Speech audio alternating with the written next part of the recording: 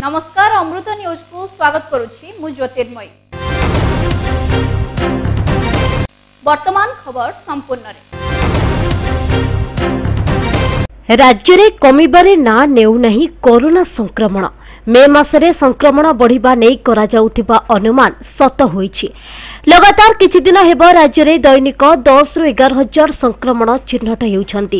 ଆଜି ରାଜ୍ୟରେ ଦଶ ହଜାର ଏକତିରିଶ ଜଣ ଚିହ୍ନଟ ହୋଇଥିବା ବେଳେ ପୁରୀ ଜିଲ୍ଲାରେ ସାତଶହ ଆଠ କରୋନା ସଂକ୍ରମଣ ଚିହ୍ନଟ ହୋଇଛନ୍ତି। ଯାହାକି ପୁରୀବାସୀଙ୍କ ମନରେ ଏକ ଭୟର ବାତାବରଣ ଖେଳାଇ ଦେଇଛି। ତେବେ ଲକଡାଉନ ଲାଗିଲେ ସଂକ୍ରମଣ କମିବ ବୋଲି ଯେଉଁ ଆଶା କରାଯାଉଥିଲା ତା କୌଣସି ସୁଫଳ ଏଯାଏଁ ଦେଖିବାକୁ ମିଳିନାହିଁ। ଯଦି ଏଭଳି ଭାବରେ ପୁରୀ ଜିଲ୍ଲାରେ ସଂକ୍ରମଣ ବଢ଼ିଚାଲେ ପୁରୀ ଜିଲ୍ଲା ଆଗାମୀ ଦିନରେ ଭୟଙ୍କର ସ୍ଥିତି ସୃଷ୍ଟି ହୋଇପାରେ।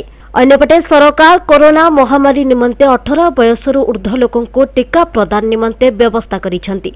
କିନ୍ତୁ ପୁରୀ ଜିଲ୍ଲାରେ କେଉଁଠି ଟିକା ମହଜୁଦ ନଥିବା ବେଳେ ଆଉ କେଉଁଠି ଟିକା ନିମନ୍ତେ ଲମ୍ବା ଲାଇନ୍ ଦେଖିବାକୁ ମିଳୁଛି। ବିଭିନ୍ନ ଟିକା କେନ୍ଦ୍ରରେ ମଧ୍ୟ ଲୋକମାନେ ସାମାଜିକ ଦୂରତା ରକ୍ଷା କରୁନଥିବା ଦେଖିବାକୁ ମିଳୁଛି। ଯଦି ସରକାର କୋଭିଡ ନାଇଣ୍ଟିନ୍ ଟିକା ଲୋକଙ୍କୁ ନ ଦିଆଯାଏ ତାହେଲେ ଆଗାମୀ ଦିନରେ ଭୟାବହ ଦେଖାଯିବ ବୋଲି ଆଶଙ୍କା କରାଯାଉଛି। ପୁରୀରୁ ଶିବପ୍ରସାଦ ଦାସଙ୍କ ରିପୋର୍ଟ ଶ୍ରୀମନ୍ଦିର ଆନନ୍ଦ ବଜାରରେ ଅଭାବନୀୟ ଘଟଣା ଜଣେ ସେବାୟତଙ୍କ ଆକ୍ରମଣରେ ଆଉ ଜଣେ ସେବାୟତ ଆହତ ହୋଇଛନ୍ତି। ଆହତ ସେବାୟତ ହେଉଛନ୍ତି ହରେକୃଷ୍ଣ ସୁଆର। ତାଙ୍କୁ ପୁରୀ ସଦର ମୁଖ୍ୟ ଚିକିତ୍ସାଳୟରେ ଭର୍ତ୍ତି କରାଯାଇଛି। ସେବାୟତ ବୁଲୁପଣ୍ଡାଙ୍କ ଆକ୍ରମଣରେ ସେ ଆହତ ହୋଇଥିବା ଅଭିଯୋଗ କରିଛନ୍ତି ହରେକୃଷ୍ଣ। ଏହି ଘଟଣା ନେଇ ସିଂହଦ୍ୱାର ଥାନାରେ ଅଭିଯୋଗ ପରେ ତଦନ୍ତ ଆରମ୍ଭ ହୋଇଛି। ଘଟଣାର ତଦନ୍ତ ପରେ ଉପଯୁକ୍ତ କାର୍ଯ୍ୟାନୁଷ୍ଠାନ ନିଆଯିବ ବୋଲି ପୁରୀ ଏସ୍ପି କେ ବିଶାଳ ସିଂ ସୂଚନା ଦେଇଛନ୍ତି। ଶ୍ରୀମନ୍ଦିରରେ ଗତ ମାସ ଅଠର ତାରିଖରେ ଦୁଇ ଜଣ ଜେଟିପିଙ୍କ ମଧ୍ୟରେ ମାରପିଟ୍ ହୋଇ ଘଟଣାର ତଦନ୍ତ ପରେ ଜେଟିପି ଗଙ୍ଗାଧର ପ୍ରଧାନଙ୍କୁ ନିଲମ୍ବିତ କରାଯାଇଛି। ସେ ବର୍ତ୍ତମାନ ଦେଉଳରେ ଆଉଥରେ ମୋତେ ଦୋଳମଣ୍ଡପ ସାହିରେ ଏମିତି ବହୁ ଲୋକ ଅଛନ୍ତି ଦେଖିଛନ୍ତି ଦୋଳମଣ୍ଡପ ସାହିରେ ଥରେ ମଧ୍ୟ ମୋତେ ମାରିଥିଲା ଗାଡ଼ିରେ ଆସିକି ଇଏ କରିଦେଲା ପାରିବାରିକ କଳହ କିଛି ରହିଛି ପାରିବାରିକ କଳ କ'ଣ ଅଛି? ମୁଁ ଜାଣିନି କିନ୍ତୁ ସେ ମୋତେ ଦୁଇଥର ମାରିଲାଣି। ମୁଁ ତାକୁ କହୁଛି କି ମାରୁଛୁ କାହିଁ କ'ଣ କହୁନୁ କ'ଣ ଅସୁବିଧା କ'ଣ ସବୁ କରିଛି ମୁଁ ଖାଇଯାଇଛି କି ନେଇଯାଇଛି କ'ଣ ନଷ୍ଟ କରିଦେଇଛି କହୁନୁ କିଛି ନ କହିକି ମୋତେ ମାରୁଛି ଆଉ କହୁଛି ମୋ ନାଁରେ ବଦନାମୀ କରୁଛୁ ଇଏ କରୁଛୁ ସେ କରୁଛୁ ଏମିତି ସବୁ ମିଛରେ ଇଆଡ଼ୁ ସିଆଡ଼ୁ କଥା କହୁଛି। ପୁରୀରୁ ଶିବପ୍ରସାଦ ଦାସଙ୍କ ରିପୋର୍ଟ ପଦ୍ମଶ୍ରୀ ତଥା ରାଜ୍ୟସଭା ସାଂସଦ ଓ ବିଶିଷ୍ଟ ଭାସ୍କର୍ଯ୍ୟ ଶିଳ୍ପୀ ରଘୁନାଥ ମହାପାତ୍ରଙ୍କ ବିୟୋଗରେ ସ୍ୟାଣ୍ଡ ଆନିମେସନ ଦ୍ୱାରା ସ୍ମୃତିଚାରଣ କରିଛନ୍ତି ଆନ୍ତର୍ଜାତିକ ବାଲୁକା ଶିଳ୍ପୀ ମାନସ କୁମାର ସାହୁ। ଶ୍ରୀ ସାହୁ ସ୍ୟାଣ୍ଡ ଆନିମେସନ ଦ୍ୱାରା ସ୍ୱର୍ଗତ ମହାପାତ୍ରଙ୍କୁ ଅଶ୍ରୁଳ ଶ୍ରଦ୍ଧାଞ୍ଜଳି ଜ୍ଞାପନ କରିଛନ୍ତି। କରୋନାରେ ସଂକ୍ରମିତ ହୋଇ ଚିକିତ୍ସିତ ଅବସ୍ଥାରେ ଶ୍ରୀ ମହାପାତ୍ରଙ୍କର ମୃତ୍ୟୁ ଘଟିଥିଲା। ଦ୍ୱିତୀୟ କୋଣାର୍କ ସ୍ୱପ୍ନ ଆଶାରେ ହିଁ ରହିଗଲା। ତାଙ୍କ ଅକାଳ ବିୟୋଗରେ ଓଡ଼ିଶା ମାଟି ଏକ ବରପୁତ୍ରକୁ ହରାଇ ମର୍ମାହତ।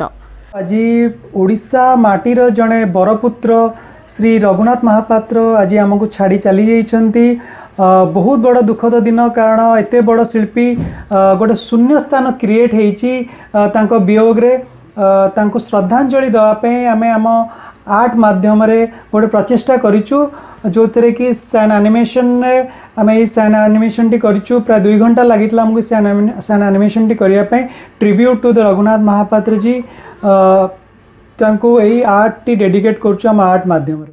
ପୁରୀରୁ ଶିବପ୍ରସାଦ ଦାସଙ୍କ ରିପୋର୍ଟ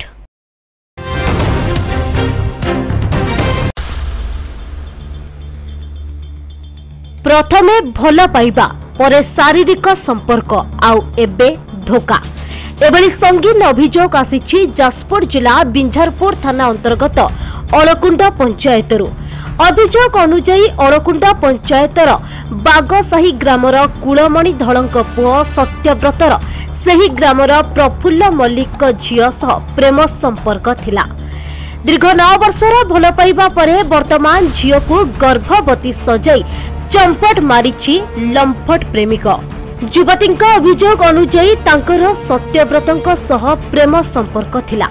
ଯାହାର ପ୍ରମାଣ ସ୍ୱରୂପ ସେ ତାଙ୍କ ସହ ଅନ୍ତରଙ୍ଗ ମୁହୂର୍ତ୍ତର ଫଟୋ ମଧ୍ୟ ଦେଖାଉଛନ୍ତି। କିନ୍ତୁ ଏବେ ରସିକ ନାଗର ପ୍ରେମିକ ବିବାହର ପ୍ରଲୋଭନ ଦେଖାଇ ତାଙ୍କୁ ଅନ୍ତଃସତ୍ତ୍ୱ କରି ଫେରାର ହୋଇଯାଇଛି। ଯେଉଁଥିପାଇଁ ନ୍ୟାୟ ଆଶାରେ ଥାନାର ଦ୍ୱାରସ୍ଥ ହୋଇଛନ୍ତି ପୀଡ଼ିତା ଏବଂ ପୀଡ଼ିତାଙ୍କ ପରିବାର। ପୀଡ଼ିତାଙ୍କ ପରିବାରର ଅଭିଯୋଗ ଅନୁଯାୟୀ ସେ ହରିଜନ ଶ୍ରେଣୀର ହୋଇଥିବାରୁ ତାଙ୍କ ସହ ଏପରି ଅନ୍ୟାୟ କରିଛନ୍ତି ସମ୍ପୃକ୍ତ ଯୁବକ ଏବଂ ତାଙ୍କ ପରିବାର। ସେପଟେ ସମ୍ପୃକ୍ତ ଯୁବକ ଫେରାର ଥିବାରୁ ଯୁବକଙ୍କ ବାପା ଏବଂ ଭାଇକୁ ଉଠାଇ ଆଣି ପଚରା ଉଚରା ଜାରି ରଖିଛି ବିଞ୍ଝାରପୁର ପୋଲିସ। ଅପରପକ୍ଷରେ ଆରୋପକୁ ଖଣ୍ଡନ କରିଛନ୍ତି ଯୁବକଙ୍କ ପରିବାର ଲୋକେ। ପ୍ରଥମ କଥା ହେଲା ଏଇଟା ମିଥ୍ୟା ଅଭିଯୋଗ। ଏ ଯେଉଁ ଆମ ନାଁରେ ଯେଉଁ କି ଆମ କାହା ନାଁରେ ଯେଉଁ ଇଏ ଦେଇଛନ୍ତି ଶୁଦ୍ଧ ମିଥ୍ୟା ସେ ଝିଅ ମିଥ୍ୟା ଆରୋପ ଆମ ନାଁରେ ଆଣୁଛି। ସେ ଏଠିକି ପାଦ ବି ପଡ଼ିନି ତାର। ସେ ମିଛ ମିଛ ଅଭିଯୋଗ ଆମ ନାଁରେ ଆଣିଛି। ଆମେ ଏ ବିଷୟରେ କିଛି ବି ଜାଣିନୁ। ଆମେ ଏ ବିଷୟରେ କିଛି ଜାଣିନୁ ଆମେ ସବୁ ଅବଗତ। ବର୍ତ୍ତମାନ ଆପଣମାନେ ଆସିଲେ ଆମେ ହେଇ ଜାଣିଲୁ। କି ସିଏ ବି ଆମ ନାଁରେ ଯେଉଁ କହିଲା ତା ସେବେ ବି ଆମେ ଜାଣିଲୁ। ଆମେ ଟୋଟାଲି ଏ ବିଷୟରେ ଆଗରୁ ତିନି ମାସ ହେଲେ ସେ ଶୋଇଥିଲେ କେଉଁଠି? ଆମକୁ ତ ଆଟଲିଷ୍ଟ ଜଣାଇବା କଥା କି ତମ ପୁଅ ଏଇ କଥା କରିଛି କି ତମ ଘର ଆମେ ତ ଆଜି ପାଇଁ କିଛି ଜାଣିନୁ ନା। ଆପଣମାନେ ବି ଟିକେ ଚିନ୍ତା କରନ୍ତୁ। ତିନି ମାସ ହେଲା ଗୋଟେ ଝିଅ ଯଦି ଏମିତି ଅନ୍ତ- ଅନ୍ତଃସଭା ହେଲା କ'ଣ ଗୋଟେ ତିନି ମାସ ପରେ ସେ ଜାଣିପାରିବ କି? ମାସକରେ ସେ ଜାଣିପାରିବ ନା? ମିଥ୍ୟା ଆରୋପ ଲଗାଯାଇ ତାଙ୍କୁ ଫସାଇ ଦିଆଯାଉଥିବା ଯୁବକଙ୍କ ଭାଉଜ କହିଛନ୍ତି। କିନ୍ତୁ ଗଣମାଧ୍ୟମ ହାତରେ ଲାଗିଥିବା ଫଟୋ ଏବଂ କଲ୍ ରେକର୍ଡିଂର ଅଡିଓ ଏହାର ଓଲଟା ଚିତ୍ର ବୟାନ କରୁଛି। ଏପରିକି ତାକୁ ମାଡ଼ ମାରିଥିବା କଥା ଅଭିଯୋଗ ଆଣିଛନ୍ତି ପୀଡ଼ିତା। ଘଟଣା ସମ୍ପର୍କରେ ଗଣମାଧ୍ୟମ ସମ୍ମୁଖରେ ପ୍ରତିକ୍ରିୟା ଦେବାକୁ ବିଞ୍ଜାରପୁର ଥାନା ଅଧିକାରୀ ନିରଞ୍ଜନ ଶବର ମନା କରିଦେଇଛନ୍ତି। ସେପଟେ ଯଦି ନ୍ୟାୟ ନ ମିଳେ ପୀଡ଼ିତା ଆତ୍ମାହୁତି ଦେବ ବୋଲି ଚେତାବନୀ ଦେଇଛି। ମୁଁ ଦୀର୍ଘ ନଅ ବର୍ଷ ହେଲାଣି ଆମ ଗାଁରେ ସତ୍ୟବ୍ରତ ଧଳ ତା ବାପା ହେଲା କୁଳବାଣୀ ଧର ମୁଁ ତାକୁ ଭଲ ପାଉଛି। ମୋତେ ବାହା ହେବ ବୋଲିକି ଏପର୍ଯ୍ୟନ୍ତ କଥା ଦେଇକି ମୋ ସହିତ ନଅ ବର୍ଷ ହେଲାଣି ଶାରୀରିକ ସମ୍ପର୍କ ରଖୁଛି। ମୋ ତିନି ମାସରେ ଏବେ ହେଉଛି ପ୍ରେଗନେଣ୍ଟ ତାପରେ ସେ ମୋତେ ଏବେ କହୁଛି ମୁଁ ବାହା ହେବିନି। ମୋ ବାପାର ଇଜ୍ଜତ ପଳେଇବ ମୁଁ ମୁଁ ମରିଯିବି ଏ କରିବି ସେ କରିବି ମୋ ଦୁନିଆ ବାହାଘର ଭାଙ୍ଗିକି ସେ ପିଲା ଏବେ ମୋତେ ଘରକୁ ବି ତା ଘରକୁ ନେଇକି ଯାଇଛି। ମୁଁ ଯେତେବେଳେ କହିଲି ମୁଁ ଆମ ଘରେ ସମସ୍ତଙ୍କୁ କହିଦେବି ଏଇ କଥା ସେ କହିଲା ଲକଡାଉନ୍ ସଟଡାଉନ୍ ଚାଲିଛି ମୁଁ ତୋତେ କୁଆଡ଼େ ନେଇକି ଯିବି? ଆଉ ହେଉଛି ତୁ ଆମ ଘରକୁ ପଳେଇ ଆସେ। ମୋତେ ଆସିକି ଆମ ଘରୁ ନେଇକି ଗଲା। ମୁଁ ତାଙ୍କ ଘରେ ଦୁଇ ଦିନ ବି ରହିଲି। ତିନି ଦିନ ବେଳକୁ ତାଙ୍କ ଘର ଲୋକ ତା ଭାଉଜ ମୋତେ ଦେଖିଲା ସେ କିଛି କହିଲାନି ମୋତେ। ତାଙ୍କ ସେ ତାର ପଳେଇଲା। ଅଧଘଣ୍ଟେ ପରେ ତାଙ୍କ ପୁଅକୁ ତାର କ'ଣ କଲେ ମୁଁ ବି ସେଇଟା ଜାଣିନି। ତାପରେ ମୋତେ ପୁରା ଘୋଷାଡ଼ି ଘୋଷାଡ଼ିକା ଘରୁ ଆଣିକି ପୁରା ତା ଭାଉଜ ତା ବୋଉ ମୋତେ ଛାଞ୍ଚୁଣିରେ ବାଡ଼େଇଲେ। ତା ଭାଉଜ ବି ମୋତେ ମାରିଲା। ଆଉ ତା ମଝିଆ ଭାଇ ସିଏ ମୋତେ ପୁରା ରାସ୍ତାରେ ପକେଇକି ମୋ ପେଟକୁ ଗୋଇଠା ମାରିକି କହିଲା ଜାତି ଫିଲିଂ କଲା ସେଟା କଣ୍ଡୁରୁଣି ତୁ ଆସିକି ଆମ ଘର ବୋଉ ହବୁ। ମୁଁ ଚାହୁଁଛି ସେ ଯେମିତି ମୋତେ ମିଛ ପ୍ରତିଶ୍ରୁତି ଦେଲା ଯେ ସେ ଛୁଆର ବାପାର ପରିଚୟ ମୁଁ ଦେବି ମୁଁ ଚାହୁଁଛି ସେ ଛୁଆର ବାପାର ପରିଚୟ ସିଏ ଦେଉ ମୋତେ ବି ତା ଘରେ ନେଇକି ରଖୁ। ବାସ୍ ହେଲା ମୋର ଏତିକି ଦରକାର ମୋର ଆଉ କିଛି ଦରକାର ନାହିଁ। ଆପଣଙ୍କ ମିଡ଼ିଆ ଆଗରେ କହୁଛି ଯେ ବର୍ତ୍ତମାନ ମୁଁ ନ୍ୟାୟ ଚାହେଁ। ମୋ ଝିଅର ଏତେ ଗୁଡ଼ିଏ କ୍ଷତି କରିଛି ଯାହାଫଳରେ କି ମୋର ନ୍ୟାୟ ଦରକାର ମୋର ଆଉ କିଛି ଆପତ୍ତି ନାହିଁ। ସେଟା ଆପଣଙ୍କର ମିଡ଼ିଆ ଆଗରେ ଆପଣମାନେ ଯାହା କରି- କରିବେ। ମୋର ଅଭିଯୋଗ ଏଇଆ ମୋ ଝିଅ ସାଙ୍ଗରେ ଟୁକୁ ଧଳ ପୁଅ ସତ୍ୟ ଧଳ ସେ ନଅ ବର୍ଷ ହେଲାଣି ସମ୍ପର୍କ ରଖିଛି। ଶାରୀରିକ ସମ୍ପର୍କ ରଖିଛି। ଆମେ ଏ ବିଷୟରେ ଜାଣିନଥିଲୁ ଫୋନ୍ ଫୋନ୍ କରି ତାର କଥା ହେନ୍ତି ଆମେ ଯେତେବେଳେ ଜାଣିନୁ ତା ବାପାକୁ ଜଣେଇନୁ ତା ବାପା କହିଲା ମୋ ପୁଅ ନୁହଁ ତୋ ଝିଅ ଆଉ କୋଉ ଟୋକା ସାଙ୍ଗରେ ସମ୍ପର୍କ ରଖିଛି। କହିଲା ଭିତରେ ଏମିତି କିଛି ଦିନ ଚାଲିଗଲା ଝିଅ ଦିନେ ଘରେ ପଳେଇଲା ତାଙ୍କ ଘରକୁ। ଦୁଇ ଦିନ ରହିଲା ତିନି ଦିନ ବେଳକୁ ଘରକୁ ଆସିଲା ଆସିଲା ଭିତରେ ଆମେ ତାକୁ ପଚାରିନୁ ତୁ କେଉଁଠିକି ଥିଲୁ? କହିଲା ମୁଁ ତାଖ ଏଠି ଥିନି। ମୁଁ କହିନି ତୁ ଆଇଲୁ କାହିଁକି? କହିଲା ଏମିତି ସେ ପୁଅକୁ କୁଆଡ଼େ ଲୁଚେଇ ଦେଇଛନ୍ତି? ଆଉ ମୋତେ ହେଉଛି ମାରାଧରା କଲେ ମୁଁ ପଳେଇ ଆସିଛି। ମୁଁ କହିନି ତୁ ସେଇଠି ରହିଲୁ ତୁ ଯଦି ମୋ ଘରକୁ ଯାଇଥିଲୁ ତୁ କାହିଁକି ଆସିଲୁ? କହିଲା ମୁଁ ଡେଲିଭରି ତିନି ମାସ ଅଛି। ଆଉ ଜାଣିଲା ଭିତରେ ଆମ ମୁଣ୍ଡ ଖରାପ ହେଠୁ ଆମେ ଏମିତି ଇଏ କରିକି ଥାନାରେ ଗାଁରେ କହିଲୁ। ଆମ ସେ ବାବଦରେ ତ ଆମେ ସମ୍ପୂର୍ଣ୍ଣ ଜାଣିନୁ କି ଉଭୟ ପକ୍ଷ କେହି ଆମ ସହିତ ଯୋଗାଯୋଗ କରିନାହାନ୍ତି। ଆମେ ଯାହା ପରସ୍ପର ଯାହା ଆପଣ ଯାହା ଶୁଣିଛନ୍ତି ଆମେ ସେୟା ଶୁଣୁଛୁ। ଯଦି ଏଠି ଆଇନ କଥାଟା ଆଇନକି ପଳେଇଛି ଆଇନ ତାର ଠିକ୍ ତଦନ୍ତ କରିକି ବିଚାର କରୁ ଯିଏ ଦୋଷୀ ସେ ଦଣ୍ଡ ପାଉ। ଯାଜପୁରରୁ ଶିବକେତନ ମହାନ୍ତିଙ୍କ ରିପୋର୍ଟ। ଗୋରୁ ବୋଝେଇ କଣ୍ଟେନର ଜବତ। ଯାଜପୁର ଜିଲ୍ଲା ବଡ଼ଚଣା ଥାନା ଅଧୀନ ଦର୍ପଣୀଠାରେ ବଡ଼ଚଣା ପୋଲିସ ଏକ ବେଆଇନ ଗୋରୁ ବୋଝେଇ କଣ୍ଟେନର ଜବତ କରିଛି। ଦର୍ପଣୀ ଅଞ୍ଚଳରୁ ଗୋରୁ ଦଲାଲଙ୍କ ମାଧ୍ୟମରେ ପଚାଶରୁ ଉର୍ଦ୍ଧ୍ୱ ଗୋରୁ ବୋଝେଇ କରି କଣ୍ଟେନର ଯୋଗେ ବାଲେଶ୍ୱର ଅଭିମୁଖେ ଯାଉଥିବା ବେଳେ ରାସ୍ତାରୁ ବଡ଼ଚଣା ପୋଲିସ କଣ୍ଟେନରକୁ ଜବତ କରିଛି। କଣ୍ଟେନରରେ ଥିବା ସମସ୍ତ ଗୋରୁଙ୍କୁ ଛତିଆଠାରେ ଥିବା ଏକ ଗୋଶାଳାରେ ଛାଡ଼ିଛନ୍ତି। କଣ୍ଟେନରରେ ଥିବା ଡ୍ରାଇଭର ହେଲ୍ପର ଓ ଜଣେ ଦଲାଲକୁ ଗିରଫ କରାଯାଇଛି। ଡ୍ରାଇଭର ଓ ହେଲ୍ପର ଭଦ୍ରକ ଓ ବାଲେଶ୍ୱର ଅଞ୍ଚଳର ହୋଇଥିବା ବେଳେ ସ୍ଥାନୀୟ ଅଞ୍ଚଳର ଜଣେ ଦଲାଲକୁ ପୋଲିସ ଗିରଫ କରି କୋର୍ଟ ଚାଲାଣ କରିଛି। ବିଭିନ୍ନ ସମୟରେ ବେଆଇନ ଗୋରୁ ଚାଲାଣ ହେଉଥିବା ବେଳେ ଗୋରୁ ଦଲାଲମାନେ ସକ୍ରିୟ ହୋଇପଡ଼ିଛନ୍ତି। ଏନେଇ ବଡ଼ଚଣା ପୋଲିସ ଘଟଣାର ଅଧିକ ତଦନ୍ତ ଚଳାଇଛି। ଯାଜପୁରରୁ ସତ୍ୟରଞ୍ଜନ ପାଢ଼ୀଙ୍କ ରିପୋର୍ଟ। ବର୍ତ୍ତମାନ ସାରା ରାଜ୍ୟରେ ଦ୍ୱିତୀୟ ଡୋଜ୍ ଟିକାକରଣ ଚାଲିଥିବା ବେଳେ କୁଜଙ୍ଗ ଗୋଷ୍ଠୀ ସ୍ୱାସ୍ଥ୍ୟକେନ୍ଦ୍ରରେ ଦେଖିବାକୁ ମିଳିଛି ଅସମ୍ଭବ ଭିଡ଼। ସକାଳ ଆଠଟାରେ ଟିକା ଦିଆଯିବା ପାଇଁ ବ୍ୟବସ୍ଥା କରାଯାଇଥିବା ବେଳେ ଟିକା ନେବା ପାଇଁ ସକାଳ ପାଞ୍ଚଟାରୁ ଲାଗିଥିଲା ଲମ୍ବା ଲାଇନ୍। ଆଜି ତିନିଶହ ଟିକା ଦିଆଯାଇଥିବା ବେଳେ ଏକ ହଜାରରୁ ଉର୍ଦ୍ଧ୍ୱ ଲୋକ ଲାଇନ୍ରେ ଛିଡ଼ା ହୋଇଥିଲେ। ମାତ୍ର କରୋନା କଟକଣା ଉଲ୍ଲଂଘନ କରି ଲୋକମାନେ ଟିକା ନେବା ପାଇଁ ରୁଣ୍ଡ ହୋଇଥିଲେ। ଏପରିକି ପୋଲିସ ଉପସ୍ଥିତ ଥିଲେ ମଧ୍ୟ ଭିଡ଼ କଣ୍ଟ୍ରୋଲ କରିବାକୁ ସକ୍ଷମ ହୋଇନଥିଲା। ଫଳରେ ସଂକ୍ରମଣକୁ ରୋକିବା ପାଇଁ ହୋଇଥିବା ଟିକାଦାନ କେନ୍ଦ୍ରରେ ସଂକ୍ରମଣ ବଢ଼ିବା ଆଶଙ୍କା ଦେଖାଦେଇଛି। ଅପରପଟେ ପ୍ରାଥମିକ ସ୍ୱାସ୍ଥ୍ୟକେନ୍ଦ୍ର ମାଳହୁଙ୍କାରେ ବି ଟିକା ନେବା ପାଇଁ ପାଞ୍ଚଶହରୁ ଉର୍ଦ୍ଧ୍ୱ ଲୋକେ ଛିଡ଼ା ହୋଇ କରୋନା କଟକଣା ଉଲ୍ଲଂଘନ କରିଥିବା ସହ ସାମାଜିକ ଦୂରତ୍ୱକୁ ବି ଭୁଲି ଯାଇଥିଲେ। ରାଜ୍ୟ ସରକାରଙ୍କ ଗାଇଡ୍ଲାଇନ୍କୁ ବେଖାତିର କରି ମାଳହୁଙ୍କା ବଜାରର ଲୁଗା ଦୋକାନ ଷ୍ଟେସନାରୀ ଦୋକାନ ସେଲୁନ୍ ଦୋକାନ ପାନ ଦୋକାନ ଓ ଚା ଦୋକାନ ଖୋଲିଥିବାର ଦେଖିବାକୁ ମିଳିଥିଲା। ଏଭଳି ଅମାନିଆ ଦୋକାନୀ ପ୍ରତି ସ୍ଥାନୀୟ ପ୍ରଶାସନିକ କିଭଳି ପଦକ୍ଷେପ ନେବେ ତାହା ଦେଖିବାକୁ ବାକି ରହିଲା। ଏଭଳି ଗୁରୁତର ରୋଗରେ ଆକ୍ରାନ୍ତ ବ୍ୟକ୍ତି ଟିକା ନେବା ପାଇଁ ବାରମ୍ବାର ଦୌଡ଼ିବାକୁ ପଡୁଥିବା ଅଭିଯୋଗ ହୋଇଛି। ତେବେ ଘଟଣା ନେଇ ପୋଲିସ ଓ ସ୍ୱାସ୍ଥ୍ୟକେନ୍ଦ୍ର ଅଧିକାରୀ କିଛି କହୁନଥିବା ବେଳେ ଟିକାଦାନ ବେଳେ ମାସ୍କ ପିନ୍ଧି ସାମାଜିକ ଦୂରତ୍ୱକୁ କଡ଼ାକଡ଼ି କରାଯିବା ଆବଶ୍ୟକ ବୋଲି ସର୍ବସାଧାରଣରେ ଚର୍ଚ୍ଚା ଜୋର ଧରିଛି। ଏଠି ଆଜି କୁଜଙ୍ଗ ମେଡ଼ିକାଲରେ ଡିକ୍ଲେୟାର ହେଇଥିଲା ସେକେଣ୍ଡ ଡୋଜ୍ ଲୋକ ନେବା ପାଇଁ ଟୀକା। ଏବଂ ମେଡ଼ିକାଲକୁ ଆମେ ଖବର ପାଇଛୁ ତିନିଶହ ଡୋଜ୍ ଆଇଛି। ଏବଂ ତାର ସ୍ୱତନ୍ତ୍ର ବିଧି ବ୍ୟବସ୍ଥା ଭିତରେ ସେକେଣ୍ଡ ଡୋଜ୍ ଲୋକଙ୍କୁ ସେମିତି କିଛି ମେସେଜ୍ ହେଇନି ସମସ୍ତଙ୍କୁ ରହିଛି ଆପାତତଃ ଏଠି ହଜାରେ ଲୋକରୁ ଅଧିକା ଗ୍ୟାଦରିଂ ହେଇଛନ୍ତି। ଏର ସା- ଆଇନ ଶୃଙ୍ଖଳା ଏଠି ବି ଠିକ୍ଠାକ୍ ନାହିଁ କି ସେମିତି କିଛି ବ୍ୟବସ୍ଥା କରାଯାଇନି ଆଇନ ଦୃଷ୍ଟିକୋଣରୁ। ସିରିଏଲ୍ ବାଇ ଆସିବେ କିଛି ସିରିଏଲ୍ ବାଇ ହିସାବରେ ଲୋକ ନେବେ। ଯେହେତୁ ଆଇନ ଶୃଙ୍ଖଳାର ଠିକ୍ ନାହିଁ ଯେ ଲୋକ ଅମାନିଆ ଲୋକ ହଜାର ହଜାର ଲୋକ ଗଦା ହେଇକିରି ଏଇଠି କୋଭିଡ଼କି ବାଣ୍ଟ ବୁଣ୍ଟ କରୁଛନ୍ତି ଯେଉଁଟା ପଜିଟିଭ୍ ଏଇଠି ବଢ଼ି ଚାଲିଛି। ତା ଦେହରେ ବି ଅନେକ ପଜିଟିଭ୍ ରୋଗୀ ବି ଅଛନ୍ତି। ଅସୁବିଧା ସାର୍ ମୁଁ ଦୁଇଥର ଆସି ନୋଟିକିରି ଗଲିଣି। ମୋତେ କହୁଛନ୍ତି ତୁମର କମ୍ପ୍ୟୁଟରରେ ବାହାରୁନି। ତାପରେ ସେଠୁ ମୁଁ ପୁଣି ସାର୍ ଆଜିକି ତିନି ଥରକୁ ପଡ଼ିଛି ଆସିଛି। ମୋତେ ମୋ ହାର୍ଟ ପେସେଣ୍ଟ ପରିସ୍ଥିତି ସାର୍ ତ ଉଁ, ଉଁ, ଖାଲି ମୋଡ଼ା ଚଢ଼ା ଦଳା ଚକଟା ଚାଲିଛି ଏଠି ଆଉ। ଅସୁବିଧା ସାର୍ ଏଇଆ ମୁଁ ଦୁଇଥର ଆସିକିରି ଗଲେଣି। ମୋତେ କହିଲେ କହିଲେ କହିଲେ ତୁମର ଅଠେଇଶ ଦିନ ପରେ ନେବ। ଅଠେଇଶ ଦିନ ପରେ ପୁଣି ଯେମିତି ଆସିଲି ମୋତେ କହିଲେ କହିଲେ ତୁମେ ଉଁ, ଦେଢ଼ ମାସ ହେଲେ ତୁମେ ଆସିବ। ଦେଢ଼ ମାସ ସାର୍ ପାଇକିରି ଦୁଇ ମାସ ହେବ ଷୋହଳ ତାରିଖ। ଜଗତସିଂହପୁର ପ୍ରଳୟ ମହାପାତ୍ରଙ୍କ ରିପୋର୍ଟ। ସମୟ ହୋଇଛି ଏକ ବିରତିର। ବିରତି ପରେ ଦେଖିବା ଅନ୍ୟାନ୍ୟ ଖବର। ଅମୃତ ଦୁନିଆ। ସତ୍ୟ ପଢ଼ନ୍ତୁ ସଠିକ ପଢ଼ନ୍ତୁ ପଢ଼ନ୍ତୁ ଅମୃତ ଦୁନିଆ। प्राथमिक शिक्षा बच्चे के भविष्य की नींव है अगर आप चाहते हैं कि आपका बच्चा आत्मविश्वास से भरे, स्मार्ट और तेज तरार हो तो कृपया उत्कल बचपन के पास आएँ।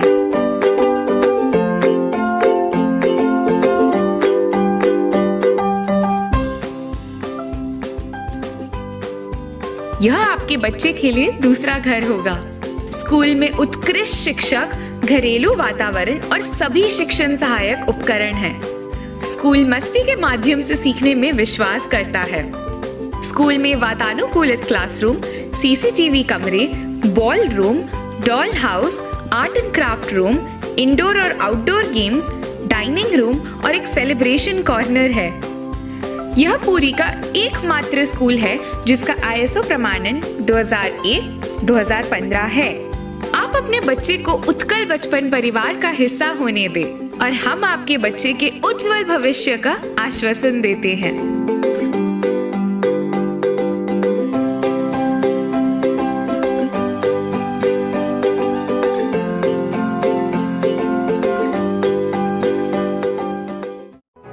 वो ज़िंदगी भी क्या जिसमें प्यास ना हो। इस खुशियों के सीज़न पे बुझाइए अपनी प्यास सिर्फ़ अमृत के साथ। Amrit water with added minerals प्यास ज़रूरी है। अमृत दुनिया। सत्य पढ़ंतु सठिक पढ़ंतु पढ़ंतु अमृत दुनिया। ताजगी का एहसास अपने होठों से रूह तक Amrit water with added minerals प्यास ज़रूरी है। अमृत टोन मिल्क क्याल्सियम र शक्ति सह पास्चराइज्ड एन्ड होमोजेनाइज्ड जहाँ होला एकदम pure Amrit tone milk Meena ji मावा आपके सफ़र में, आपके साथ, स्वाद और क्वालिटी में दमदार। पाँच रुपए में प्रीमियम टेस्ट मीना जी मावा, अब प्रीमियम पैक में। मीना जी प्रीमियम पान मसाला। सिर्फ़ पाँच रुपए में, मस्त मज़ा। मीना जी प्रीमियम पान मसाला। अजवैन के अनगिनत गुणों से भरपूर एक ऐसा पाचक डाइजेस्टिव जो पेट को आराम दे जाए। मीना जी पाचक अजवैन, पाचक और गैस नाशक खाने के शौकीन, अब कैसी चिंता? जब हर खाने के बाद हो, मीना जी पाचक आमला। खाओ चटपट, हजम झटपट। मीना जी पाचक आमला। अदरक में है प्राकृतिक गुणकारी शक्तियाँ, जो पाचक के रूप में है वरदान। हेल्दी हर्बल और गुणकारी। मीना जी पाचक जिंजर ମାନବ ସେବା ହିଁ ମାଧବ ସେବା। ଏହି କ୍ରମରେ ବିଶ୍ୱମ୍ବର ବିଦ୍ୟାପୀଠ ଅଣାନବେ ବ୍ୟାଚ୍ ତରଫରୁ ଆରମ୍ଭ ହେଉଛି ଅଭିନବ ପ୍ରୟାସ। ଶ୍ରୀକ୍ଷେତ୍ରରେ ବାସ କରୁଥିବା ପ୍ରତ୍ୟେକ ଜନସାଧାରଣଙ୍କ ପାଇଁ ଏକ ବିଶେଷ ଯୋଜନା। ପ୍ରଭୁଙ୍କ ଭାଷାରେ ଶ୍ରୀକ୍ଷେତ୍ରରେ କାହା ପେଟ ଅପୋଷା ରହେ ନାହିଁ। ଆସନ୍ତୁ ଏକାଠି ହେବା। ପୁରୀବାସୀଙ୍କ ପାଇଁ ଚିନ୍ତା କରିବା। କିଛି ଲୋକଙ୍କର ମୁହଁରେ ଟିକେ ହସ ଫୁଟେଇବା ଓ ଏହି ଅଭିନବ ଯୋଜନାରେ ସାମିଲ ହେବା। ଫୁଡ୍ ବ୍ୟାଙ୍କ ଆଣିଛି ଏହି ସୁଯୋଗ। ଖାଦ୍ୟ ଆବଶ୍ୟକତା ମେଣ୍ଟାଇବା ପାଇଁ ଆମକୁ ଯୋଗାଯୋଗ କରନ୍ତୁ। ଆମ phone number nine double three seven five zero nine zero two zero ଆମେ ଜାଣୁ ମାନବ ସେବା ହିଁ ମାଧବ ସେବା। ବିଶ୍ୱମ୍ବର ବିଦ୍ୟାପୀଠର ପୁରାତନ ଛାତ୍ରଛାତ୍ରୀଙ୍କ ସହ ହାତ ମିଳାନ୍ତୁ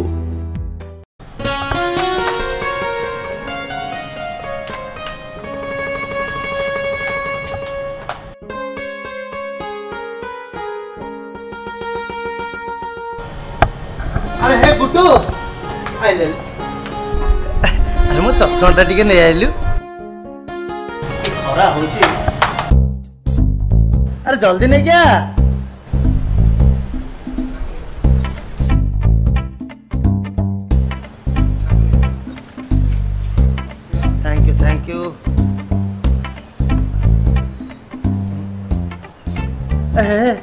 అదే పెట్టాను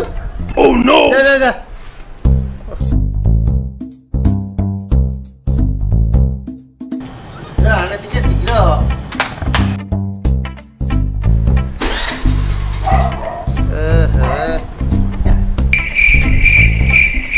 గుడ్డు హెల్మెట్ హెల్మెట్ ఓ నో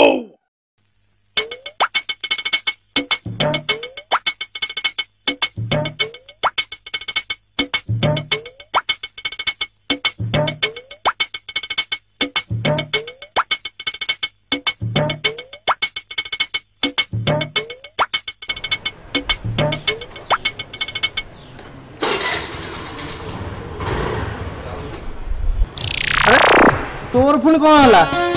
ତୁ କେ ଚାବି ବନ୍ଦ କଲୁ ତୁ କଣ ଭୁଲିଗଲୁ ନା କଣ ମୁଁ ନୁହଁ ତମେ ଭୁଲି ଯାଇଛ। ମୁଁ ଭୁଲିଗଲି କଣ? ଏ ଦେଖ ମୁଁ ମାସ୍କ ପିନ୍ଧିଛି ତମେ ପିନ୍ଧ। ଏ, ମୁଁ ବି ପିନ୍ଧିବି। ଧଲ ଧଲ ଧଲ ଓ ମାସ୍କଟା ହିଁ ଆମ ଜୀବନ। ଆଉ ଆକୁ ଭୁଲିଗଲେ କେମିତି ହବ? ଏଇଟା ଆଗ ବୁଝିଲ? ଆପଣ ବାହାରକୁ ଗଲାବେଳେ ଚଷମା ଓ ହେଲମେଟ୍ ଯେତିକି ଜରୁରୀ ମାସ୍କ ସେତିକି ହିଁ ଜରୁରୀ। କାରଣ ମାସ୍କ ହିଁ ଆପଣଙ୍କ ଜୀବନକୁ ରକ୍ଷା କରିପାରିବ।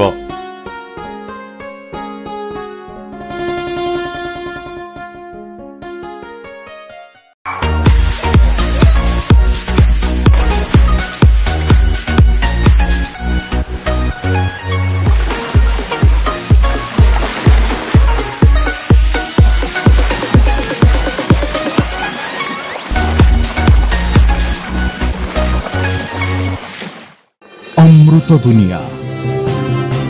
সত্য পড়ন্তু সঠিক পড়ন্তু পড়ন্তু অমৃত দুনিয়া। বিরতি পরে আপনার আউথরে স্বাগত। କେନ୍ଦ୍ରାପଡ଼ା ଜିଲ୍ଲା ଆଳି ଥାନା ଅନ୍ତର୍ଗତ ଚୁନବନ୍ଧ ଗ୍ରାମରେ ବଜ୍ରପାତ ଘଟି ଜଣେ ମୃତ୍ୟୁବରଣ କରିଥିବା ବେଳେ ଅନ୍ୟ ଜଣେ ଗୁରୁତର ହୋଇ କେନ୍ଦ୍ରାପଡ଼ା ଜିଲ୍ଲା ହସ୍ପିଟାଲକୁ ସ୍ଥାନାନ୍ତର ହୋଇଥିବା ଜଣାପଡ଼ିଛି। ମିଳିଥିବା ସୂଚନା ମୁତାବକ ସୋମବାର ଅପରାହ୍ନରେ ଆଳି ବ୍ଲକ ବାଣକାଟି ପଞ୍ଚାୟତର ଚୁନବନ୍ଧ ଗ୍ରାମର ଭରତ ବେହେରା ଓ ପରଶୁରାମ ମଲ୍ଲିକ ଦୁହେଁ ବିଲରୁ ଆସୁଥିବା ବେଳେ ବଜ୍ରପାତ ଘଟିଥିଲା। ସେମାନଙ୍କୁ ସଙ୍ଗେ ସଙ୍ଗେ ଆଳି ମେଡିକାଲ ଆଣିବା ପରେ ଭରତ ପ୍ରାଣ ହରାଇଥିବା ବେଳେ ପରଶୁରାମ ଗୁରୁତର ଆହତ ହୋଇଥିବାରୁ ଜିଲ୍ଲା ହସ୍ପିଟାଲକୁ ସ୍ଥାନାନ୍ତର କରାଯାଇଛି। ଭରତଙ୍କ ମୃତ୍ୟୁ ପରେ ପରିବାର ଲୋକେ ଭାଙ୍ଗି ପଡ଼ିଛନ୍ତି। ତୁରନ୍ତ କ୍ଷତିଗ୍ରସ୍ତ ପରିବାରକୁ ସରକାରୀ ସହାୟତା ଯୋଗାଇ ଦେବାକୁ ଦାବି ହୋଇଛି। ଆଳିରୁ ପ୍ରଭୁ କଲ୍ୟାଣ ସେନାପତିଙ୍କ ରିପୋର୍ଟ। ମିଳିଲାନି ମହାପ୍ରୟାଣ ଗାଡ଼ି। ଏଭଳି ଏକ ଘଟଣା ଦେଖିବାକୁ ମିଳିଛି ବୌଦ୍ଧ ଜିଲ୍ଲା ମୁଖ୍ୟ ଚିକିତ୍ସାଳୟରେ।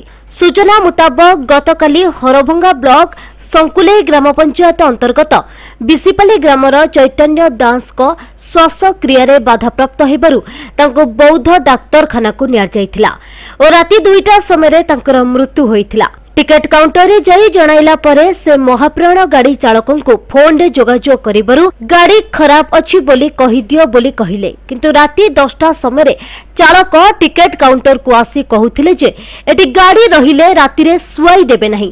ତେଣୁ ଗାଡ଼ି କୋଭିଡ ସେଣ୍ଟରରେ ରଖିଦେଇ ମୁଁ ଘରକୁ ପଳାଇବି ଏକଥା ନିଜେ ରୋଗୀଙ୍କ ପୁଅ ସୁଶାନ୍ତ ଦାସ ଓ ବଡ଼ ପୁଅ ଗଜେନ୍ଦ୍ର ଦାସ ନିଜେ ଶୁଣିଛନ୍ତି। ସମସ୍ତ ଚେଷ୍ଟା ବିଫଳ ହେବା ପରେ ଜୀବନ ଜ୍ୟୋତିର ସମାଜସେବୀ ପ୍ରଶାନ୍ତ ବିଶୀଙ୍କ ସହ ଯୋଗାଯୋଗ କରିବାରୁ ସେ ସିଡିଏମ୍ଓଙ୍କୁ ଜଣାଇଥିଲେ ମଧ୍ୟ କିଛି ସୁଫଳ ମିଳିଲା ନାହିଁ। ଡ୍ରାଇଭର ଜିଲ୍ଲାପାଳ ଦେଇଛନ୍ତି କହି ସେ ଜିଲ୍ଲାପାଳଙ୍କ ମୁଣ୍ଡରେ ଦୋଷ ଲଦିଦେଲା। ଏଠି ପ୍ରଶ୍ନ ଉଠେ ଯେ ସିଡିଏମ୍ଓ ଚାହିଁଥିଲେ କ'ଣ ଅସ୍ଥାୟୀ ଚାଳକ ପଠାଇ ପାରିନଥାନ୍ତେ? ଚାଳକ ତ ଫୋନ୍ ରିସିଭ୍ କରୁନାହିଁ। ସକାଳ ପାହିଯାଉ ଦେଖିବା କହିଲେ। ଶେଷରେ ନିରୁପାୟ ହୋଇ ଦୁଇ ଭାଇଙ୍କୁ ଶବ ବୋହି ଆଣିବାକୁ ପଡ଼ିଲା। ଏହି ସିଡିଏମ୍ଓଙ୍କ ସମୟରେ ସ୍ୱାସ୍ଥ୍ୟସେବା ବହୁତ ବିପର୍ଯ୍ୟସ୍ତ ହେଉଛି। ତେଣୁ ତାଙ୍କୁ ତୁରନ୍ତ ବଦଳି କରାଯାଉ ବୋଲି ସାଧାରଣରେ ଦାବି କରାଯାଇଛି। କାଲି ରାତି ଦଶଟା ବେଳକୁ ମୋ ବଡ଼ ବାପାଙ୍କୁ ହେଡ଼କ୍ୱାର୍ଟର ହସ୍ପିଟାଲ ବୌଦ୍ଧ ନେଇଥିଲୁ। ଆଉ ଚିକିତ୍ସା ସମୟରେ ଦୁଇଟା ବେଳକୁ ଦେହତ୍ୟାଗ କଲେ। ଆମେ ଯେତେବେଳେ ଟିକେଟ୍ କାଉଣ୍ଟରକୁ ଗଲୁ ମହାପ୍ରୟାଣ ଗାଡ଼ି ପାଇଁ ସେଠି କହିଲେ ଯେ ନାଇଁ ଗାଡ଼ି ଖରାପ ଅଛି। ଦଶଟା ଆମେ ଯେତେବେଳେ ଦଶଟା ବେଳକୁ ପହଞ୍ଚିଲୁ ସେତିକି ବେଳକୁ ମହାପ୍ରୟାଣ ଗାଡ଼ିର ଡ୍ରାଇଭର ଟିକେଟ୍ କାଉଣ୍ଟରରେ କହିଦେଇଗଲା ଯେ ମୁଁ ରାତିରେ ଆଉ ଗାଡ଼ି ଚଲେଇବିନି ଆଉ ଯିଏ ଆସିଲେ କହିଦେବ ଯେ ଗାଡ଼ି ଖରାପ ଅଛି। ଆଉ ଏଠି ରଖିଲେ ସମସ୍ତେ ସିନା ଜାଣିବେ ଆଉ କୋଭିଡ଼ ସେଣ୍ଟରରେ ଗାଡ଼ି ପୁରେଇ ଦେବି କେହି ଦେଖିବେନି କି କେହି ଜାଣିବେନି। ଆଉ ଯିଏ ଆସିଲେ କହିବ ଯେ ଗାଡ଼ି ଖରାପ ଅଛି। ଆଉ ଗଭର୍ଣ୍ଣମେଣ୍ଟର ଏତେ ସୁବିଧା ଥାଇକି ଯଦି ଆମେ ଅସୁବିଧା ହେବୁ ଗଭର୍ଣ୍ଣମେଣ୍ଟର ସୁବିଧା ପାଇପାରିବୁନି ଆଉ ଗାଡ଼ି ଥାଇକି ଲାଭ କ'ଣ? ଆମେ ବହୁତ ଅସୁବିଧାରେ ଆମ ଡେଡ୍ ବଡ଼ିଟାକୁ ସକାଳ ଛଅଟା ବେଳକୁ ଧରିକି ଆସିଲୁ। ବୌଦ୍ଧରୁ ପ୍ରଣତି ପଣ୍ଡାଙ୍କ ରିପୋର୍ଟ। ଟିକା ଯେପରି ଓଡ଼ିଶାର ଲୋକ ସୁବିଧାରେ ପାଇପାରିବେ ସେଥିପାଇଁ ବିଶ୍ୱର ବିଭିନ୍ନ ଟିକା କମ୍ପାନୀରୁ ଟିକା ସଂଗ୍ରହ ପାଇଁ ପଦକ୍ଷେପ ନିଆଯିବ। ମୁଖ୍ୟମନ୍ତ୍ରୀ ନବୀନ ପଟ୍ଟନାୟକଙ୍କ ଅଧ୍ୟକ୍ଷତାରେ ରାଜ୍ୟ କ୍ୟାବିନେଟ୍ ଆଜି ସନ୍ଧ୍ୟାରେ ଅନୁଷ୍ଠିତ ହୋଇଯାଇଛି। ଏହି ବୈଠକରେ ସଂକଳ୍ପ ଗୃହୀତ ହୋଇଛି। କୋଭିଡ୍ ନାଇଣ୍ଟିନ୍ ମହାମାରୀ ବିରୋଧରେ ଆମର ଲଢ଼େଇରେ ଆମର କୋଭିଡ୍ ଯୋଦ୍ଧାମାନେ ଯେପରି ନିଷ୍ଠ ତ୍ୟାଗ ମନୋଭାବ ନେଇ କାମ ଜାରି ରଖିଛନ୍ତି ରାଜ୍ୟ କ୍ୟାବିନେଟ୍ ତାର ଉଚ୍ଚ ପ୍ରଶଂସା କରିଛି। କୋଭିଡ୍ ବିରୋଧରେ ଚାଲିଥିବା ଲଢ଼େଇରେ ରାଜ୍ୟ ସରକାର ନେଇଥିବା ବିଭିନ୍ନ ପଦକ୍ଷେପ ଯଥା ଟେଷ୍ଟିଂ ଟ୍ରାକିଂ ଭ୍ୟାକ୍ସିନେସନ ଲକଡାଉନ୍ ଇତ୍ୟାଦିରେ ଓଡ଼ିଶାବାସୀ ଯେଭଳି ସହଯୋଗ ଯୋଗାଇ ଆସିଛନ୍ତି ସେଥିପାଇଁ ରାଜ୍ୟ କ୍ୟାବିନେଟ୍ ରାଜ୍ୟବାସୀଙ୍କ ନିକଟରେ କୃତଜ୍ଞତା। ଭବିଷ୍ୟତ କୋଭିଡ୍ ସଂକ୍ରମଣରୁ ରାଜ୍ୟବାସୀଙ୍କୁ ସୁରକ୍ଷା ଦେବା ତଥା ଅମୂଲ୍ୟ ଜୀବନ ରକ୍ଷା କରିବା ନିମନ୍ତେ ଟିକାକରଣ ସବୁଠାରୁ ଗୁରୁତ୍ୱପୂର୍ଣ୍ଣ। ଇସ୍ରାଏଲ ପରିଦେଶ ଯେଉଁମାନେ କି ତାଙ୍କ ଜନସଂଖ୍ୟାର ବୃହତ୍ତର ଭାଗର ଟିକାକରଣ କରିସାରିଛନ୍ତି ସେମାନେ ଏବେ ସ୍ୱାଭାବିକତା ଆଡ଼କୁ ଫେରୁଛନ୍ତି। ରୋଗର ଜଟିଳତା ହ୍ରାସ କରି ରୋଗୀର ଜୀବନ ରକ୍ଷା ଦିଗରେ ଟିକାକରଣ ବହୁତ ଫଳପ୍ରଦ ହେଉଥିବା ଜଣାପଡ଼ିଛି। ବିପଦପୂର୍ଣ୍ଣ କାର୍ଯ୍ୟ ପରିବେଶ ସତ୍ତ୍ୱେ କୋଭିଡ୍ ଯୁଦ୍ଧରେ ନିୟୋଜିତ ଆମର ଆଗଧାଡ଼ି କର୍ମଚାରୀ ତଥା ସ୍ୱାସ୍ଥ୍ୟସେବାରେ ନିୟୋଜିତ କର୍ମଚାରୀମାନେ ଯେଉଁମାନଙ୍କର ସମ୍ପୂର୍ଣ୍ଣ ଟିକାକରଣ ହୋଇଯାଇଛି ଟିକା ନେଇଥିବା ବ୍ୟକ୍ତିମାନଙ୍କର ସଂକ୍ରମଣ ହେଲେ ବି ତାହା ବହୁତ କମ୍ ଲକ୍ଷଣଯୁକ୍ତ ହେଉଥିବା ଦେଖାଦେଇଛି। ଏହି ପରିପ୍ରେକ୍ଷୀରେ ଓଡ଼ିଶାବାସୀଙ୍କ ପାଇଁ ଟିକା ସଂଗ୍ରହ ନିମନ୍ତେ ସର୍ବୋତ୍ତମ ଚେଷ୍ଟା କରିବା ଟିକା ଯୋଗାଣକୁ ସୁନିଶ୍ଚିତ କରି ରାଜ୍ୟବାସୀଙ୍କୁ ସୁରକ୍ଷିତ ରଖିବା ଏବଂ ଶୀଘ୍ର ରାଜ୍ୟରେ ସ୍ୱାଭାବିକ ଅବସ୍ଥା ଫେରାଇ ଆଣିବା ପାଇଁ ରାଜ୍ୟ ସରକାର ସଂକଳ୍ପବଦ୍ଧ। ଏହି ଉଦ୍ଦେଶ୍ୟରେ ଓଡ଼ିଶାବାସୀ ଯେପରି ସୁବିଧାରେ ଟିକା ପାଇପାରିବେ ସେଥିପାଇଁ ବିଶ୍ୱର ବିଭିନ୍ନ ପ୍ରମୁଖ ଟିକା କମ୍ପାନୀକୁ ଟିକା ସଂଗ୍ରହ ନିମନ୍ତେ ପଦକ୍ଷେପ ନିଆଯିବ। ଏଥିପାଇଁ ଗ୍ଲୋବାଲ ଟେଣ୍ଡର ଜାରି କରିବାକୁ ରାଜ୍ୟ କ୍ୟାବିନେଟ୍ ନିଷ୍ପତ୍ତି କରିଛନ୍ତି। ଆଜି ମାନ୍ୟବର ମୁଖ୍ୟମନ୍ତ୍ରୀଙ୍କର ଅଧ୍ୟକ୍ଷତାରେ ରାଜ୍ୟ କ୍ୟାବିନେଟ୍ର ଗୋଟେ ଗୁରୁତ୍ୱପୂର୍ଣ୍ଣ ବୈଠକ ଅନୁଷ୍ଠିତ ହୋଇଯାଇଛି। ଉକ୍ତ ବୈଠକରେ ମୁଖ୍ୟତଃ ରାଜ୍ୟର ବର୍ତ୍ତମାନ କୋଭିଡ ପରିସ୍ଥିତି ବିଷୟରେ आलोचना करागला। स्वास्थ्य एवं परिवार कल्याण विभाग तरफ़ कैबिनेट को राज्य सरकार तरफ़ निजाता विभिन्न पदक्षेप विषय अवगत करागला। सर्वप्रथमें कैबिनेट कोविड महामारी विरुद्ध आम जो कोविड योद्धा मैंने निष्ठा एवं त्याग मनोभाव नहीं कम कर रोगी मान सेवा कर ତାକୁ ରାଜ୍ୟ କ୍ୟାବିନେଟ୍ ଭୂୟସୀ ପ୍ରଶଂସା କରିଛନ୍ତି। ଯେହେତୁ କୋଭିଡ ବିରୁଦ୍ଧରେ ଯେଉଁ ଲଢ଼େଇ ବର୍ତ୍ତମାନ ଚାଲିଛି ସେଟା ଗୋଟେ ବହୁତ ଲମ୍ବା ଲଢ଼େଇ କେତେ ଦିନ ଚାଲିବ ବର୍ତ୍ତମାନ ଜଣା ନାହିଁ। ଏହି ପରିପ୍ରେକ୍ଷୀରେ କେନ୍ଦ୍ର ସରକାର ଯେଉଁ ସେସ୍ ଏବଂ ସରଚାର୍ଜ ସବୁ ଅସୁଲ କରୁଛନ୍ତି ସେଇ ଆମାଉଣ୍ଟରୁ ବିଭିନ୍ନ ରାଜ୍ୟ ସରକାରଙ୍କୁ ଆର୍ଥିକ ସହାୟତା ଯୋଗାଇ ଦେବା ପାଇଁ ରାଜ୍ୟ ସରକାର କେନ୍ଦ୍ର ସରକାରଙ୍କୁ ଅନୁରୋଧ କରିବେ। ଏହାଦ୍ୱାରା ରାଜ୍ୟ ସରକାରଙ୍କ ଉପରେ ଆର୍ଥିକ ବୋଝ କମିବ ଟିକସ ଛାଡ଼ ଏବଂ ସରଚାର୍ଜ ଏବଂ ସେସ୍ରୁ ଯଦି ଆର୍ଥିକ ସହାୟତା ମିଳିବ ରାଜ୍ୟ ସରକାରମାନଙ୍କ ଉପରେ ଆର୍ଥିକ ବୋଝ କମିବ କାରଣ ବିଶେଷତଃ ରାଜ୍ୟ ସରକାର ବର୍ତ୍ତମାନ ବହୁତ ଅଧିକା ଟଙ୍କା ଖର୍ଚ୍ଚ କରୁଛନ୍ତି ପେସେଣ୍ଟମାନଙ୍କ ଟ୍ରିଟମେଣ୍ଟ ପାଇଁ ଭ୍ୟାକ୍ସିନେସନ୍ ପାଇଁ ଏବଂ ଅନ୍ୟାନ୍ୟ ଆକ୍ଟିଭିଟିଜ୍ ପାଇଁ। ରାଜ୍ୟ ସରକାର ଯାହା ସମ୍ବଳ ଦରକାର କୋଭିଡ ବିରୁଦ୍ଧରେ ଲଢ଼େଇ କରିବା ପାଇଁ ସମସ୍ତ ସମ୍ବଳ ବିନିଯୋଗ କରି କୋଭିଡ ପେସେଣ୍ଟମାନଙ୍କର ଟ୍ରିଟମେଣ୍ଟ କରିବା ଏବଂ ଟିକାକରଣ ଏସବୁ କରିବା ପାଇଁ ରାଜ୍ୟ କ୍ୟାବିନେଟ୍ ରାଜ୍ୟ ସରକାରଙ୍କୁ ଅନୁମତି ଦେଲେ। ଏହି ଅବସରରେ ରାଜ୍ୟ କ୍ୟାବିନେଟ୍ କୋଭିଡ ନିୟମାବଳୀ ଏବଂ ସଠିକ ଭାବରେ କୋଭିଡ କୋଭିଡ ନିୟମାବଳୀ ଯଥା ସଠିକ ଭାବରେ ସମସ୍ତେ ମାସ୍କ ପିନ୍ଧିବା ସୋସିଆଲ ଡିଷ୍ଟାନ୍ସ ମେଣ୍ଟେନ୍ କରିବା ଅଯଥା ଗହଳି ଜାଗାକୁ ନ ଯିବା ଏବଂ ହାତ ଧୋଇବା ଏବଂ ଘର ଭିତରେ ରହିବା ଏବଂ ନିହାତି ଦରକାର ନ ପଡ଼ିଲେ ଘର ବାହାରକୁ ନ ଯିବା ପାଇଁ ସମସ୍ତ ରାଜ୍ୟବାସୀଙ୍କୁ ଅନୁରୋଧ କରିଛନ୍ତି ଏବଂ ଆଶା କରୁଛନ୍ତି କ୍ୟାବିନେଟ୍ର ଯେଉଁ ନିଷ୍ପତ୍ତି ନିଆହେଇଛି ଆଜି ଏବଂ ତାଙ୍କର ଅନୁରୋଧକୁ ରାଜ୍ୟବାସୀ ସମସ୍ତେ ଗ୍ରହଣ କରିବେ। ଏତଦ୍ ବ୍ୟତୀତ ଆଜି ଆଉ କିଛି ଗୁଡ଼ିଏ ପ୍ରସ୍ତାବ କ୍ୟାବିନେଟ୍କୁ ଆସିଥିଲା ଏବଂ ତାହା ମଧ୍ୟ ଆପ୍ରୁଭ୍ ହୋଇଛି। ତାହା ସମସ୍ତଙ୍କୁ ପ୍ରେସ୍ ନୋଟ୍ ମାଧ୍ୟମରେ ଜଣାଇ ଦିଆଯିବ। ଧନ୍ୟବାଦ। ବ୍ୟୁରୋ ରିପୋର୍ଟ ପ୍ରୟାସ ନ୍ୟୁଜ୍ ବର୍ତ୍ତମାନ ପାଇଁ ଖବର ଏତିକି। ଆସନ୍ତାକାଲି ଠିକ୍ ଏଇ ସମୟରେ ଏଇ ଚ୍ୟାନେଲରେ ପୁଣି ଥରେ ଦେଖା ହେବ। ରହୁଛି ନମସ୍କାର।